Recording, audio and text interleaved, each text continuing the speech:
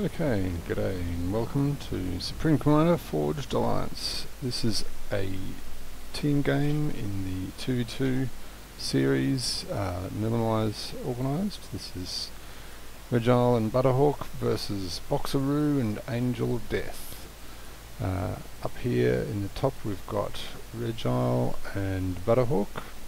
We've got Aeon and Cybran, so both floaty floaty factions and down here we've got Angel of Death on on Seraphim and Boxer going Aeon. So unsurprisingly they're thinking exactly the same thing.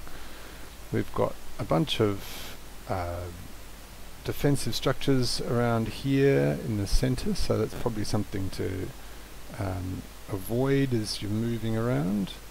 Uh, we've got a first Engi out to get that all important um, first hydro. Um, what have we what have we got queued up here? Assist the hydro. Looks good. And then air. But Regile is heading straight over to try and claim that all-important wreck in the middle of the um, opposing team's base. Will he make it? This is going to be an interesting little gambit. Boxer, so Butterhawk is getting the hydro up and now starting to work on a line of power gens because let's face it, air factories take a lot of power and we're going to go to plus one game speed here just to speed things up a bit in the opening.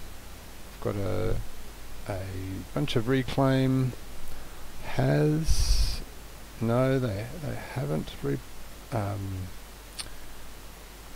haven't prioritized that re reclaim. And Butterhawk is so Regile is making his way there. So it's possible that these two Engis won't get it in time or will get it in time. Got some scouting heading out and if they're really lucky, they've just seen Butterhawk, so Regile. Yep, they definitely know something is there, and it's moving slow enough that it could be a commander. So they're probably yep, they've scouted it, they noticed it, and we've got the engineers moving away, probably because Boxer was overflowing mass.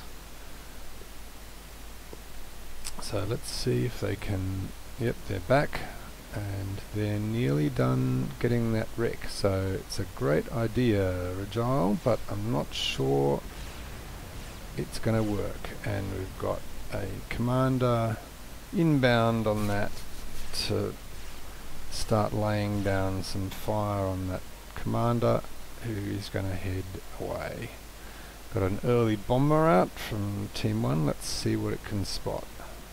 Can it actually find an engineer? It can find the power though, so that might be a good secondary target and it's already got some NTs on it. We've got a bit of scouting going on from uh, team 2 down the bottom here um, and team 2 has also sent its I sent an engineer out to claim those mass extractors, so that's a pretty good tactic.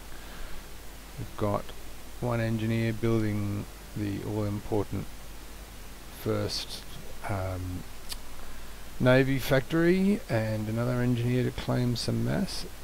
And we've already got the host of floaty spam coming out to uh, to um, the south side. So this is going to be interesting. Let's see how they play this.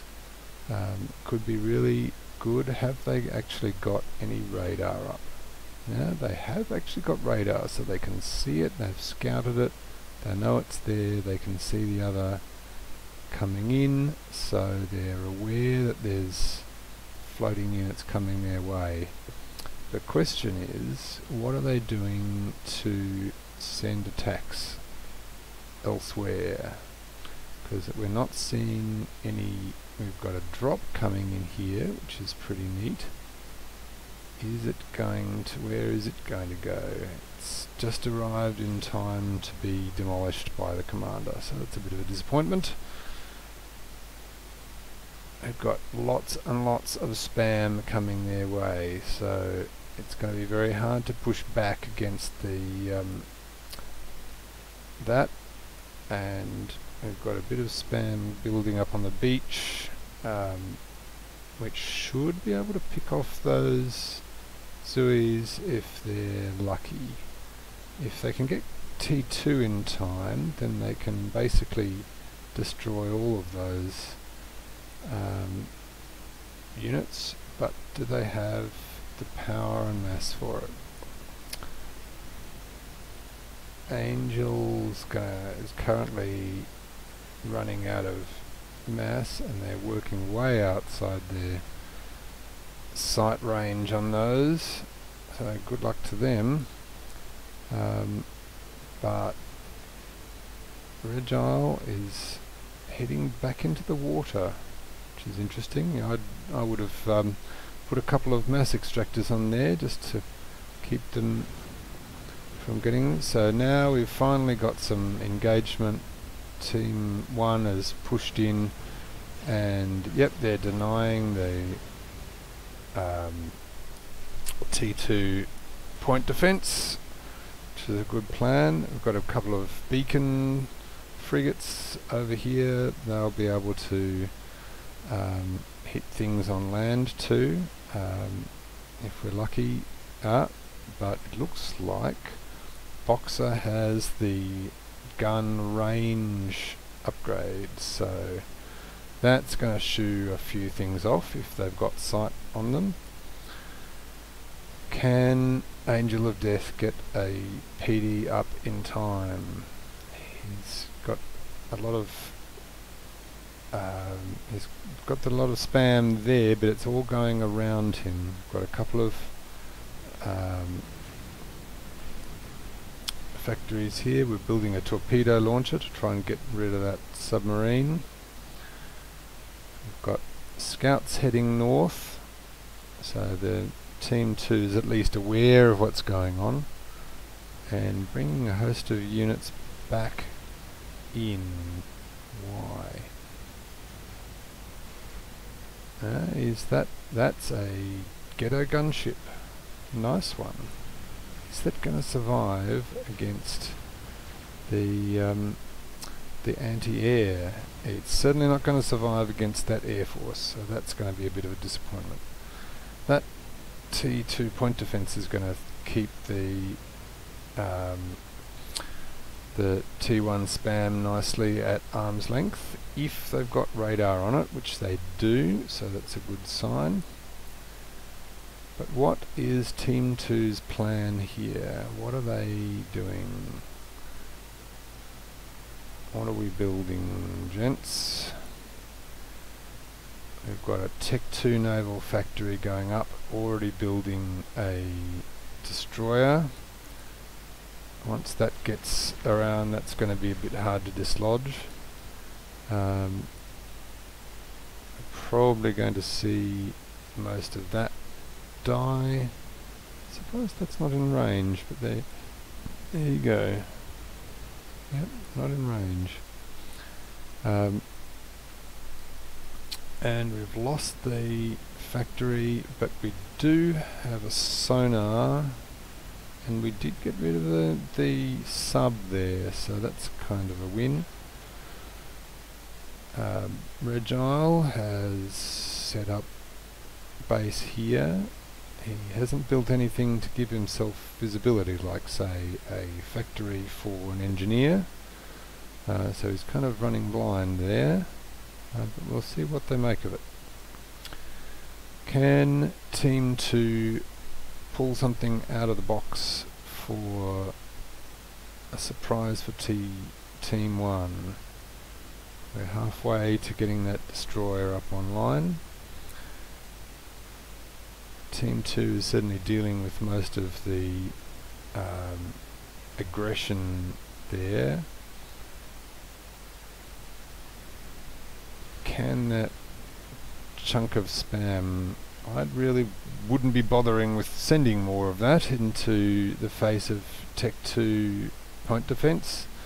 Um,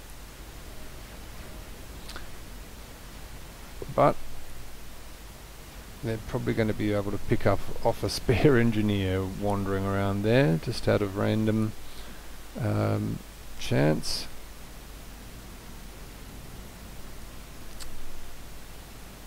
Do we have an, a submarine queued up? Ooh, but we do have a gunship and that's going to get rid of a lot of the stuff over on this island. Regile is heading back to pick up some spam here. Is he going to be targeted by the, the point defense? Yes he is, so not that's not going to work for you. and his little encampment down here is going to be quickly destroyed so um, Boxeroo is sending over some we've got is that air going to come over? No, it's changed its mind so we've now got the destroyer online with a frigate and a shield generator which is a nice combination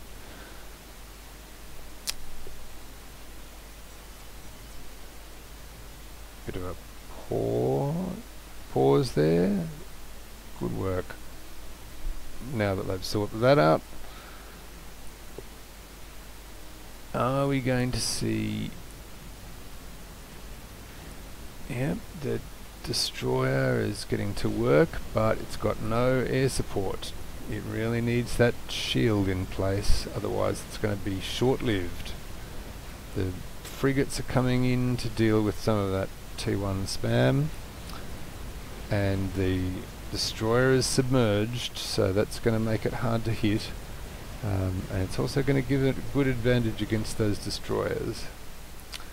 Still more spam but looks like um, Regile has finally realised that he doesn't need to send a lot of that over there so he's paused those factories. He has managed to hoover up that that mass there, which is a pretty good effort. Um, and it's certainly going to be disappointing for those gunships to be in range of the the um, T2 um, air cleaners. So watch out for that. But this is the right attitude. Send in the cruisers with missiles. Um, this on this map, I suppose I'd probably end up. I'd probably be tempted to play UEF just to um, take advantage of the missile boats. Um, naturally, the teams have done well to put missile defence all along the shore in preparation for that. So the question is, what's their big plan? We've got a bit of bit more action happening with this T2 mobile def defense. We've got the destroyer lining up now. Uh, it's able to pretty much nuke those uh, those light auroras without much trouble, and the cruiser is taking care of the um, all the defences on that centre island. So that might be a useful bit of reclaim there once it's defeated. Okay, now Angel of Death is heading out with some Zuis. What can he get done? We're taking up, getting getting more power generators, and looks like we're building a naval factory there. But I think that's going to be hard to defend given the um, amount of um, spam floating on the water that's coming against them the Zuis are clustered over in here and um, being a bit better microed by, looks like, by um, Angel of Death. Maybe he needs to send those down to his teammate here and uh, get some uh, work done on that destroyer, uh, which really needs a bit of um, torpedo defence as well to um, to keep it at bay. The gunships are going to be quickly disposed of by that cruiser as well, so that was a bad idea. Bit of scouting coming in, and we've got a bit of a T2 combat air force going together here. And interestingly, it looks like Team 2 is actually repelling Team 1 from the southern part of the ocean. So that's a kind of interesting development. Uh, would not have expected that. We've still got this amusing uh, torpedo la launcher there, just for general lols. Uh, I wonder what's going to happen to that. The cruiser is still just in range and it's going to be picking things off if they don't move. Now the destroyer being brought in but it's going to take a long time to um, break through those shields especially if it doesn't focus one of them. Um, and especially if it's going into the rock which is just not going to give in. Okay, Another push down here. Sending some scouts up to see what they can see, but of course, while the um, cruisers do great damage um, in area of effect, they are not very good at actually leading their target, so they're really not going to get much done there. Um, So, what are we up to? Regile has started his T1 arty spam again. I thought he'd learnt the better of that. They're definitely getting something done here. Um, looks like they're getting doing um, more destroyers Bit of an air engagement here to take out the um, a land spam to take out the um, the auroras and um, then gunships to take out the land spam and then air force to take out the gunships and here comes the other air force. So it's just all round around around she goes and where she stops nobody knows the destroyer is finally getting something done over there. Um, and we've got another destroyer here. If that was protected a bit, it could nearly get a, another veterancy in there somewhere, but um, we're going to have to wait and see with that. Meanwhile, we've got a bit of an army coming together pinged on a juicy bit of reclaim in the Southern Ocean there. The um, attack missile defence is going to be working overtime to try and keep these cruisers at bay. Can the Exoduses get up there and start harassing this navy? The Exoduses will actually outrange the destroyers of the Seraphim. That got cleared out, and surprisingly enough, the um, point defense isn't doing very much about, about that, but uh, seemed to be activated there finally. Okay, Exoduses get in range. Do we have the amount enough support for them to defend them. It doesn't look like it. They've got they, we've taken out one destroyer already, but that's a pretty even trade, and then we've got uh, two more destroyers there, easily taking care of the Southern Force. Bad decision to send that uh, those gunships up there. Um, and look at that, we've got a Tech 3 submarine. That is interesting. What are we building now?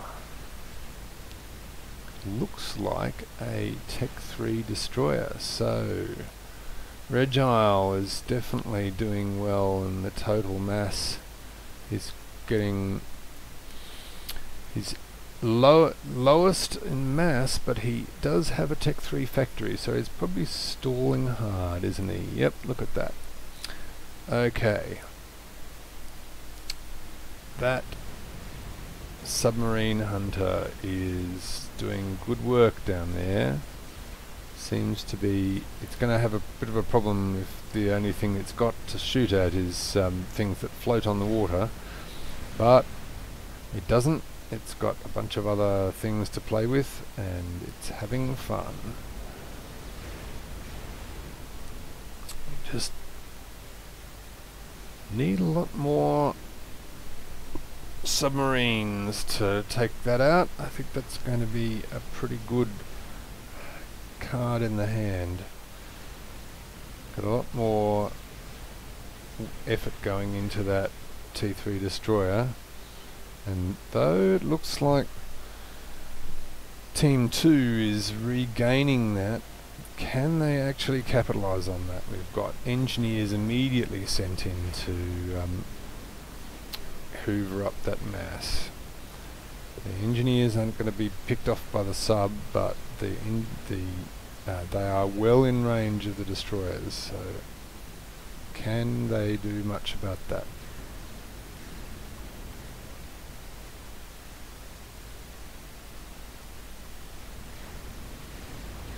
Nope. There's another Tech 2 destroyer. So that's going to be pretty devastating there. Now we have the battleship online. The battleship's going to be good to take out some of those big targets like the destroyers.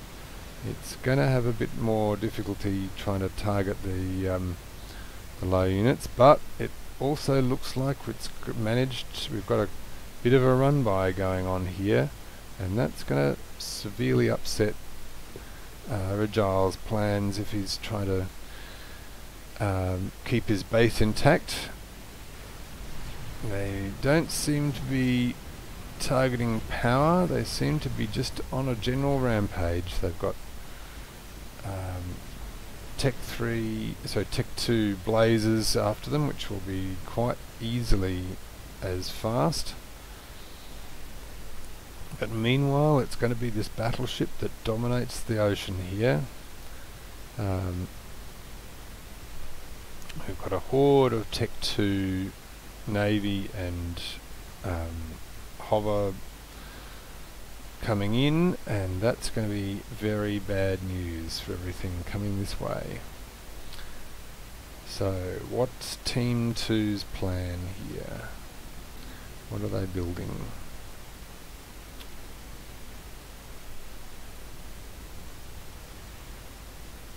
Well, they're doing a bunch of upgrades at the moment. It looks like they're going to be struggling with that. And interestingly, so far, um, uh, we're seeing a lot of good destruction raining down on this, and there's probably a lot of good reclaim there. Look at all that. And a big reclaim field here. Not seeing any engineers coming down.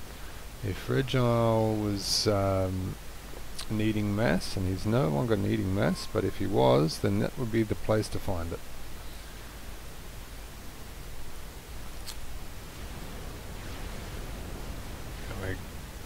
We've got some destroyers going down here.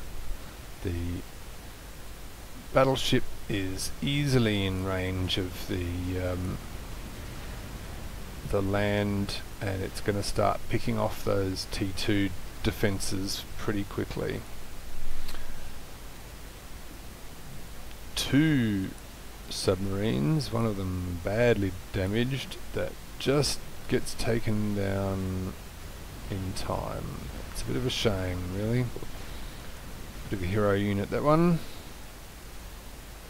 But it's looking bad for Team 2 here. They've um, had their run by, that's been and gone. Um, they've got Team 1 well into the southern Southern Ocean with a battleship that's just going to be impossible to dislodge. and unless they're planning on pulling out some amazing air strike I don't give them a lot of hope at this point. So what's our plan gentlemen? What are we building? Well the battleship is well in range factories going down left right and centre got a desperate bid for um, mass over here and a really odd unit composition. We've got half auroras and half air, so I don't know what they're defending against there.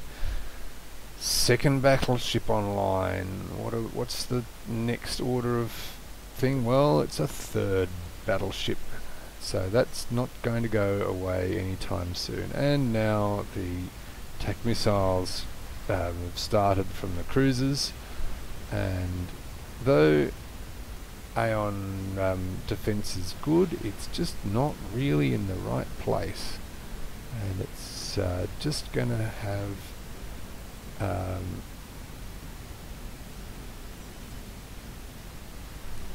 hard time picking that up, but uh, I think they're going to have a lot more problems with these two battleships here. So what do we have? We've got some torp bombers. That's a promising idea. I don't think one of them is going to take down an entire battleship in one go, especially not as it has flak, um, flak on board.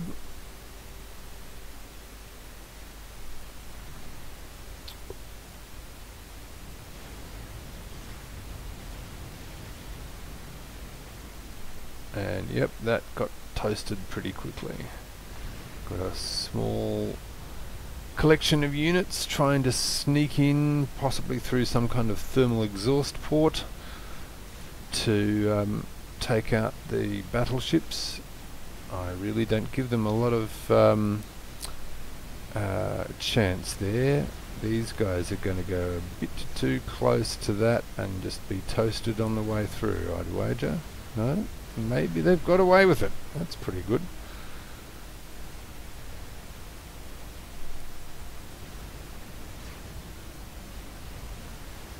Really needs to just target that. There's that third battleship online. And what are we planning here? Well, looks like a submarine, I'd say.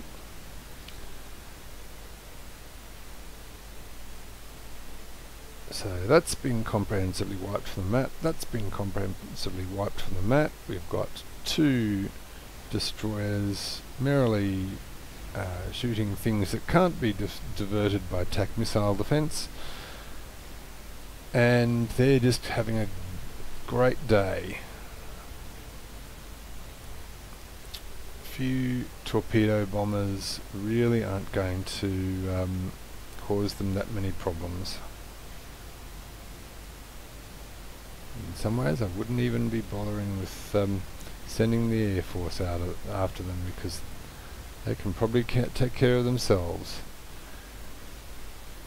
We do have a sneaky drop though. Look at that. I didn't spot that. I wonder how he did that. i might have to go back and watch the replay. Is he going to get anywhere? He's got too much army here um, on his tail to really get much done. He possibly needs to be targeting power, but there's no really good power up here. Um,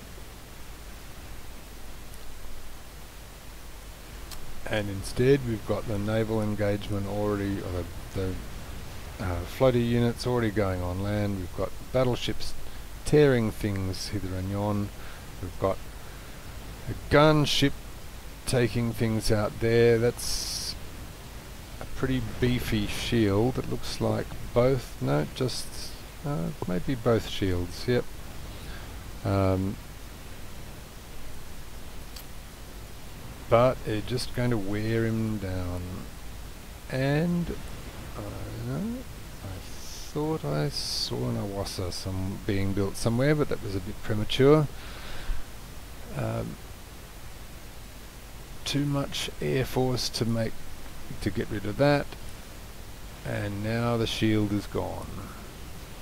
And we're going to spend too much time walking around trying trying to find something to kill. Looks like they didn't know know that uh, both commanders were down here. Um, it'd be a kind of amusing own goal if um, that battleship was able to take out uh, Butterhawk's defences there, so that'd be kind of amusing. Um, looks like he might, he's trying to get back into the ocean, but I don't know if he's going to get there. Uh, and then he'll still have a 2 versus 1 um,